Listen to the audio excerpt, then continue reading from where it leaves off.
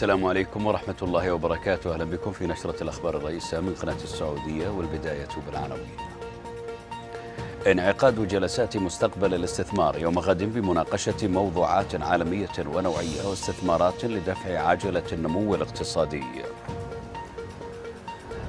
صندوق الاستثمارات العامة يطلق شركة تطوير منتجات الحلال. سماء المملكة تشهد غدا الثلاثاء كسوفا جزئية للشمس.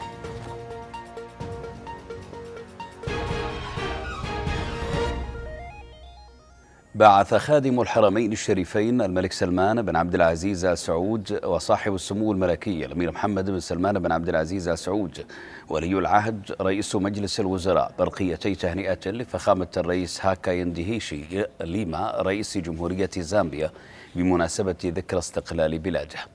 وأعرب خادم الحرمين الشريفين وسمو ولي العهد عن طيب التهاني وأصدق التمنيات بموفور الصحة والسعادة لفخامته ولحكومة وشعب جمهورية زامبيا الصديق المزيد من التقدم والازدهار صدر عن الديوان الملكي اليوم البيان التالي. انتقلت إلى رحمة الله تعالى صاحبة السمو الملكي الأميرة الجوهرة بنت ممدوح بن عبد الرحمن بن سعود بن عبد العزيز آل سعود وسيصلى عليها إن شاء الله يوم غد الثلاثاء الموافق للتاسع والعشرين من الشهر الثالث من عام 1444 للهجرة بعد صلاة العصر في جامع الإمام تركي بن عبد الله في مدينة الرياض. تغمدها الله بواسع رحمته ومغفرته ورضوانه.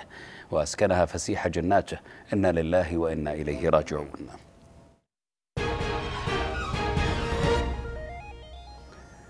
تنعقد يوم غد الثلاثاء النسخة السادسة من ملتقى مبادرة مستقبل الاستثمار تحت شعار الاستثمار في الإنسانية. تمكين نظام عالمي جديد بمشاركة 500 متحدث في الجلسات والمناقشات. المزيد في التقرير التالي.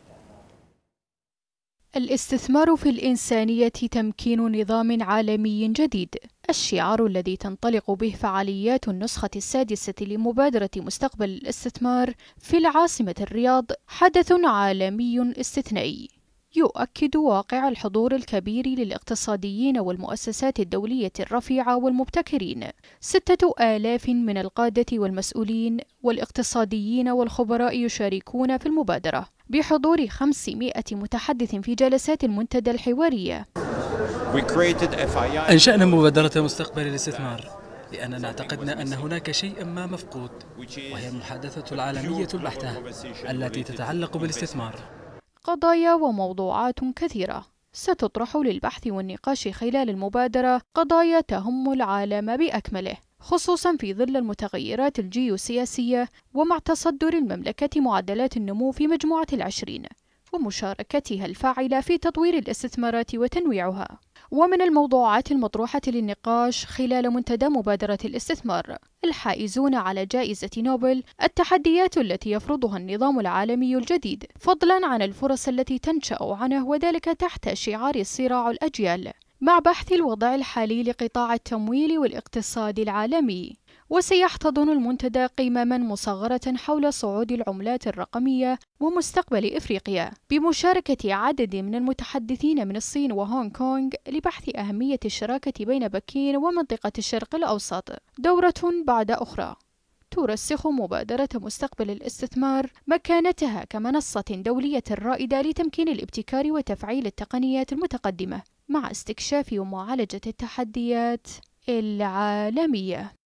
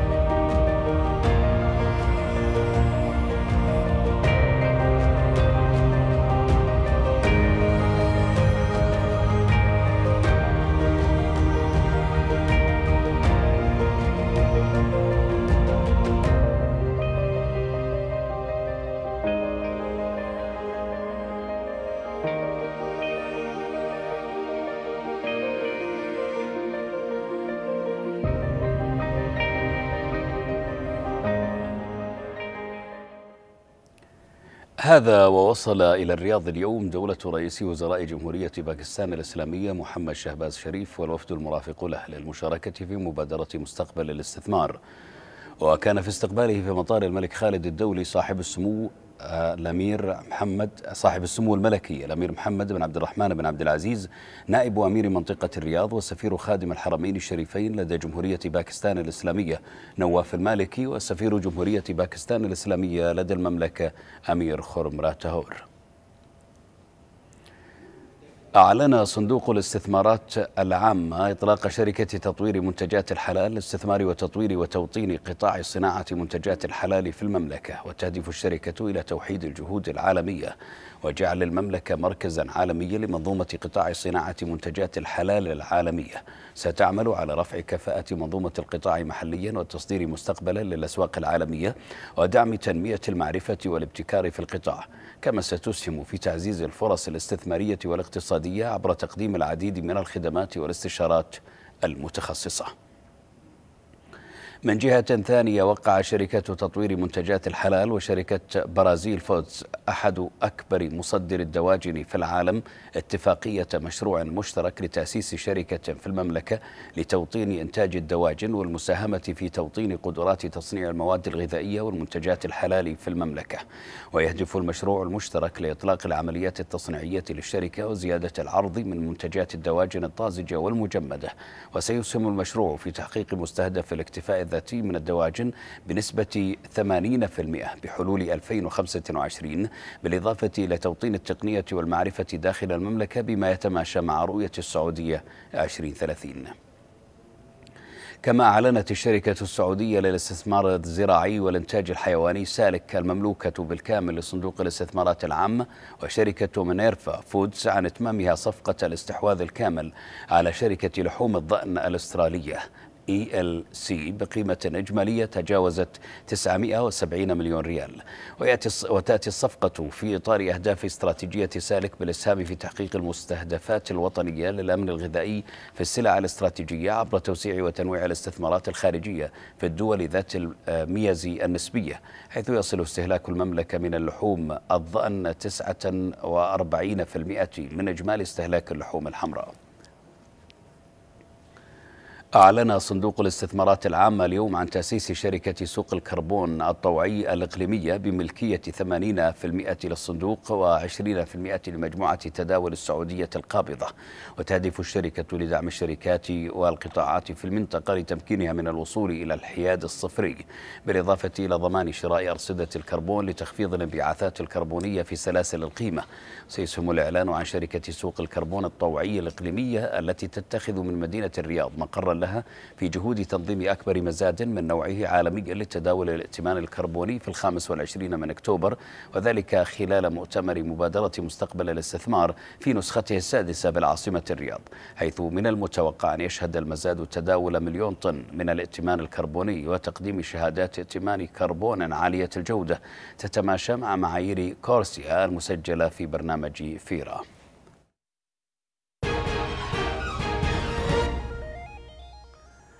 ترأس صاحب السمو الأمير فيصل بن فرحان بن عبد الله وزير الخارجية اليوم وفد المملكة المشارك في أعمال الدورة الثامنة لمنتدى دكار الدولي حول السلام والأمن المقام في جمهورية السنغال. وأكد الأمير فيصل في كلمته أن المملكة تتطلع إلى الدفع بالمصالح المشتركة مع الدول الأفريقية وتعزيز التعاون في مجالات الأمن والطاقة والتجارة والاستثمار والخدمات اللوجستية وغيرها. وجدد سموه دعم المملكة المستمر لمبادئ الشرعية الدولية الرامية إلى الحفاظ على الأمن والسلم الدوليين وتعزيز التعاون المشترك المبني على أسس الاحترام المتبادل لسيادة الدول واستقلالها وحل النزاعات بالطرق السلمية. كما أشار سمو وزير الخارجية إلى موقف المملكة الداعم لكافة الجهود الدولية الرامية لإيجاد حل للأزمة الروسية الأوكرانية حماية للأرواح والممتلكات وحفظا للأمن والاستقرار الإقليمي والدولي. وجدد سموه دعوة المملكة واستعدادها للوساطة في سبيل تحقيق ذلك. استعرض وزير الدولة للشؤون الخارجية عضو مجلس الوزراء مبعوث شؤون المناخ الأستاذ عادل الجبير. استعرض خلال لقائه وفدا من فريق عمل الشرق الأوسط والخليج التابع للمجلس الأوروبي برئاسة الدكتور تيم بلوم وكالن ميتري.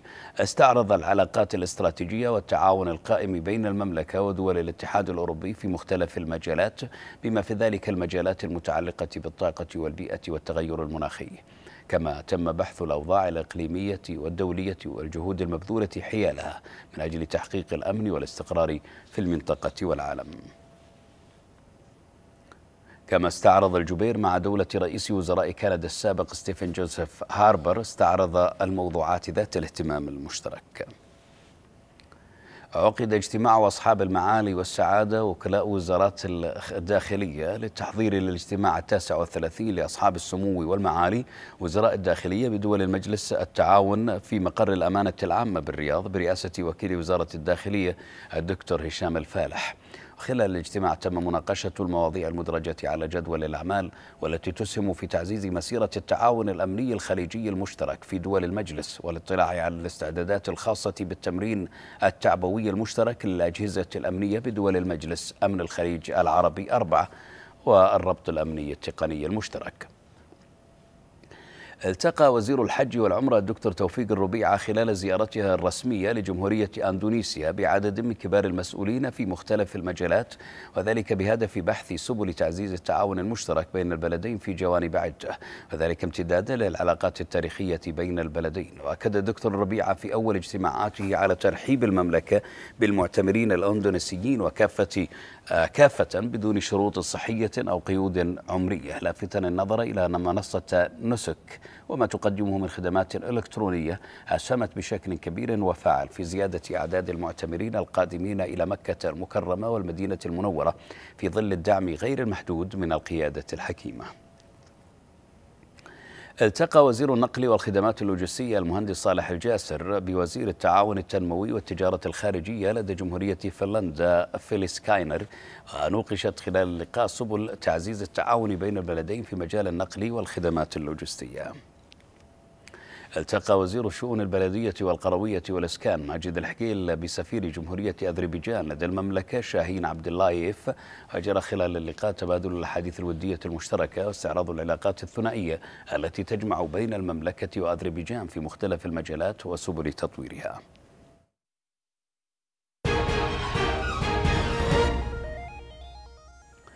أوضحت وزارة الصحة أن الإنفلونزا الموسمية تسبب عددا من المضاعفات أهمها التهاب الرئتين والتهاب الشعب الهوائية التهاب الأذن. وكانت الصحة أطلقت حملة توعوية للتطعيم ضد الإنفلونزا الموسمية تحت شعار اللحظة التي ما تتمناها. تستهدف الفئات الأكثر تأثرا بها مثل كبار السن وأصحاب الأمراض المزمنة والمصابين بنقص المناعة والحوامل والعاملين بالقطاع الصحي وعامة أفراد المجتمع. كما أوضحت هيئة الصحة العامة وقاية أن حالات الإصابة بالأمراض التنفسية والإنفلونزا الموسمية كذلك كوفيد 19 تنشط مع دخول فصل الشتاء. وتختلف شدة ضراوتها من شخص لآخر حسب المناعة متوقعة ازديادها خلال الفترة القادمة. ستشهد الكرة الأرضية كسوفا جزئيا للشمس يوم غد الثلاثاء وسيشاهد بل سيشاهد هذا الكسوف كاملا في مناطق المملكة ومعظم مناطق الوطن العربي. وستحظى المنطقة الوسطى والشمالية الشرقية وشرق المملكة بنسبة كسوف أعلى مقارنة ببقية المناطق الأخرى ما بين الواحدة والنصف بعد الظهر حتى الثالثة وخمسين دقيقة عصرا. ويعد الكسوف الثاني والأخير في العام الحالي. ولمتابعة هذا الخبر ينضم إلينا رئيس الجمعية الفلكية بجدة المهندس ماجد أبو زاهر. مهندس ماجد أهلا بكم. بداية في هذه النشرة متى سيبدأ الكسوف على سماء المملكة؟ أيضا كم سيستغرق هذا الكسوف؟ وما هو شكل الشمس أثناء الكسوف؟ نعم مساء الخير. بداية بمشيئة الله ستشهد كافة مناطق المملكة كسوف الشمس الجزئي ما بين الساعة الواحدة والنصف بعد الظهر والرابعة إلا عشر دقائق عصرا بنسبة متفاوتة كما ذكرت قبل قليل حيث ستحظى المنطقة الوسطى والشمالية الشرقية والمنطقة الشرقية بنسبة كسوف أعلى مقارنة ببقية المناطق بحكم أنها أقرب إلى مسار الكسوف وبشكل عام سوف يستغرق الكسوف الجزئي في كل مدينة من مدن المملكة من حوالي ساعتين وعشر دقائق إلى ساعتين آه، وربع. أما بالنسبة لشكل آه، الشمس أثناء الكسوف ونسبة الاحتجاب آه، فخلال كسوف الشمس الجزئي ستبدو الشمس وكأن جزءا قد أخذ منها وذلك بسبب مرور القمر جزئيا أمامها. ونظرا لأن هذا الكسوف هو كسوف جزئي آه، سوف يكون شبه ظل القمر وليس ظله هو الذي سيمر فوق المناطق التي سوف تشهد هذا الكسوف. أما بالنسبة لنسبة الكسوف حيث سيغطي القمر قرص الشمس فسوف تكون متفاوتة حيث تبلغ 15% أقصى جنوب آه، آه، غرب المملكة وستصل إلى 41% في أقصى شرق المملكة. نعم. أيضا مهندس ماجد يعني لماذا هناك دول تشهد هذا الكسوف؟ وأخرى أيضا لا تشاهده ما هي الأسباب؟ صحيح. يرجع السبب في ذلك لأن القمر كجرم سماوي هو أصغر بكثير من حيث الحجم مقارنة بالشمس والأرض. لذلك فإن ظله على الأرض ليس كبير جدا. نتيجة لذلك فإن بعض الأماكن على الأرض هي التي تشهد الكسوف فقط كظاهرة فلكية خاصة القاطنين في الجانب النهاري منهم سكان المملكة والواقعين في مسار شبه ظل القمر يمكنهم رؤية الكسوف والبقية لا تستطيع رؤيته. نعم. وكيف يتم الرصد في هذه الحالة مهندس ماجد؟ حقيقة مراقبة كسوف الشمس يعني بداية يجب التأكيد إلى عدم النظر أبدا مباشرة إلى الشمس بدون حماية مناسبة لأن ذلك قد يضر بشبكية العين. لذلك يجب اتباع عدد من الطرق لمراقبة الكسوف بأمان وأكثرها أمان هي نظارات الكسوف هي فعالة في منع آه، أكثر من 99% من ضوء الشمس والأشعة فوق البنفسجية والأشعة الحمراء. ويجب التأكد من أنها تفي بمعايير السلامة عند النظر للشمس. ويجب هنا أيضا التأكيد والتحذير من عدم استخدام النظارات الشمسية أيا كانت صناعتها لأنها ليست مخصصة أصلا للنظر مباشرة إلى الشمس. وعدم استخدام الأشعة السينية الطبية أو الزجاج المدخن لأنها لا تفي بمعايير السلامة. آه، إذا هذه الأضرار المتعلقة بكسوف الشمس آه، المهندس آه، ماجد أبو زاهرة رئيس الجمعية الفلكية بجدة. شكرا جزيلا لك ونلتقيك على خير إن شاء الله. نشرتنا مستمرة وفيها بعد الفاصل. ميناء جدة الإسلامي يستقبل أول سفينة على الخدمة الملاحية الجديدة هملايا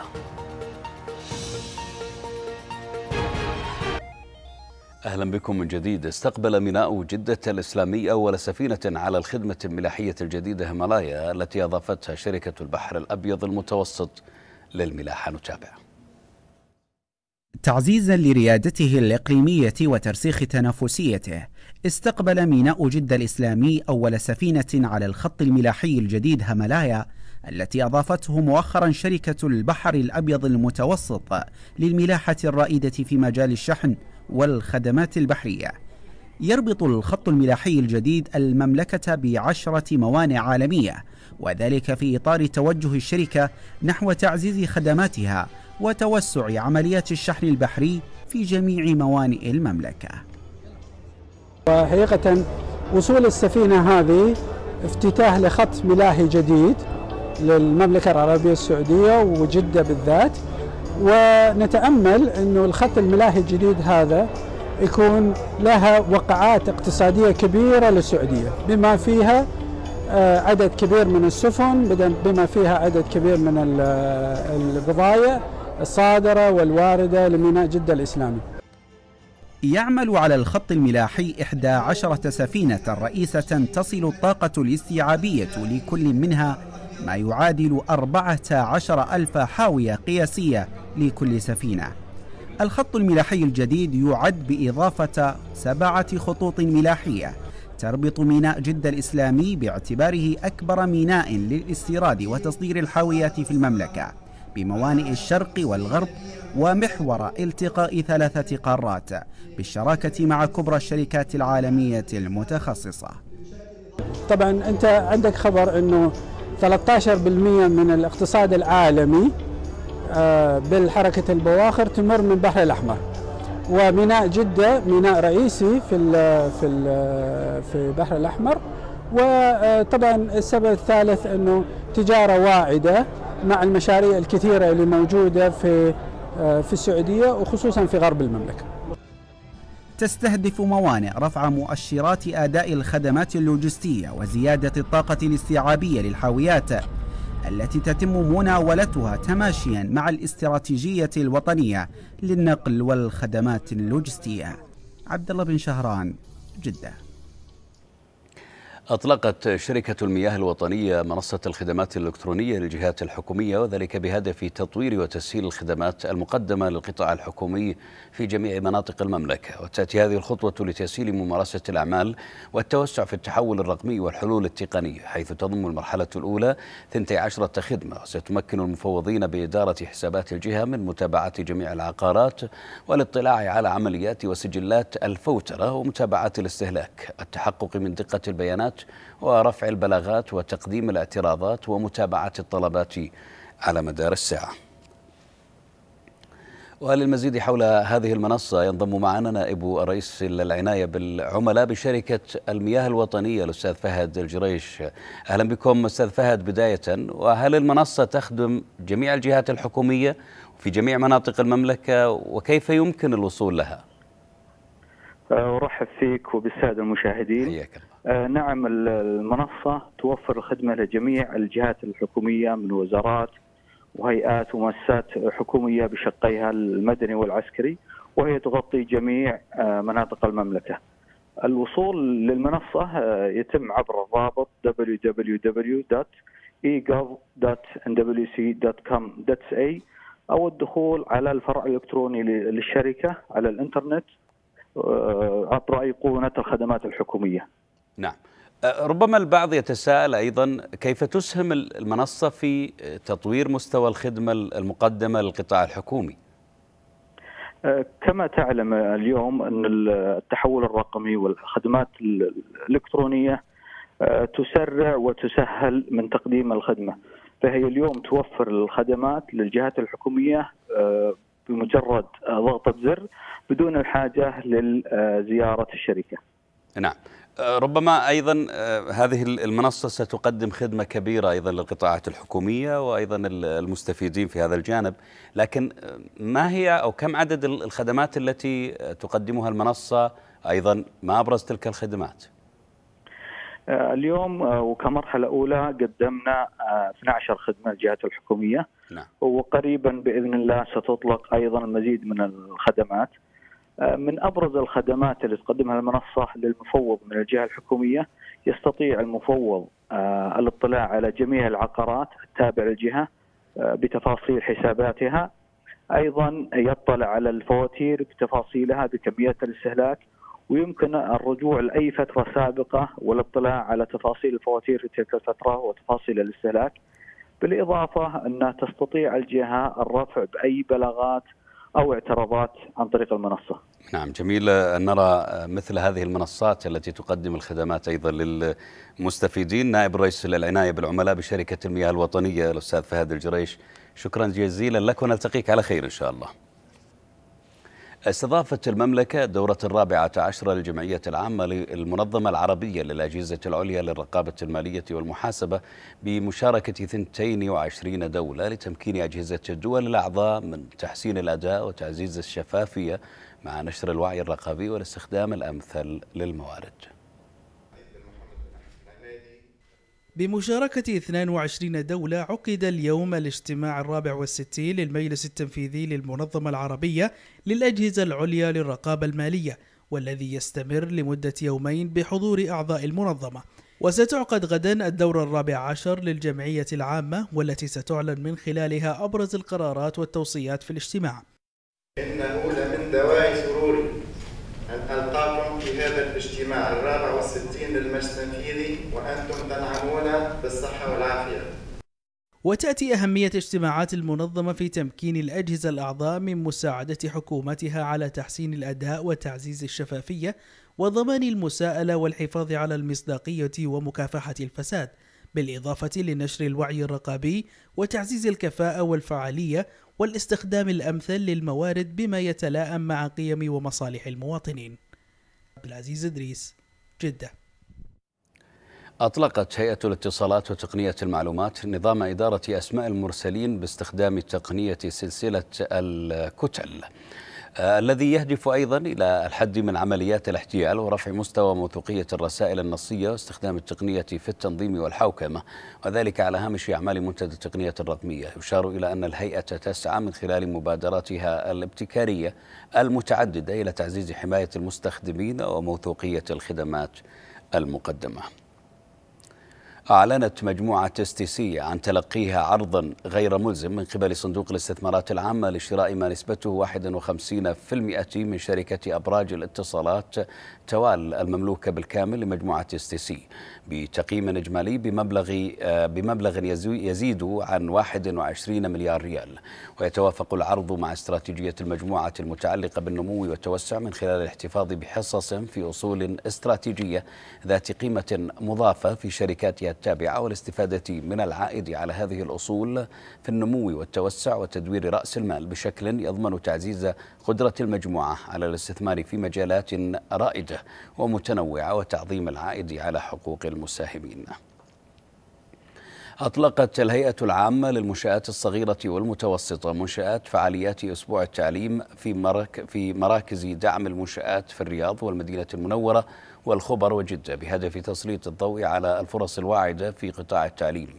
ويأتي تنظيم منشآت لهذا الأسبوع ضمن أعمالها الهادفة إلى تحسين أداء المنشآت ومساعدتها على النمو والتوسع من خلال معرفة التحديات لتوفير الحلول المناسبة لها إضافة إلى تعزيز الإنتاجية والتنافسية في قطاع المنشآت الصغيرة والمتوسطة للوصول إلى أسواق جديدة.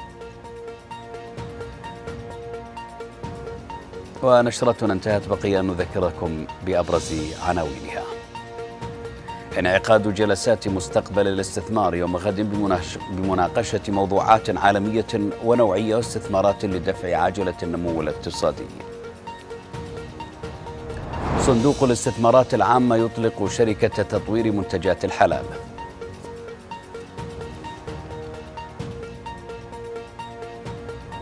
سماء المملكة تشهد غدا الثلاثاء كسوفا جزئيا للشمس. شكرا لكم على طيب المتابعة. نلقاكم على خير وفي أمان الله.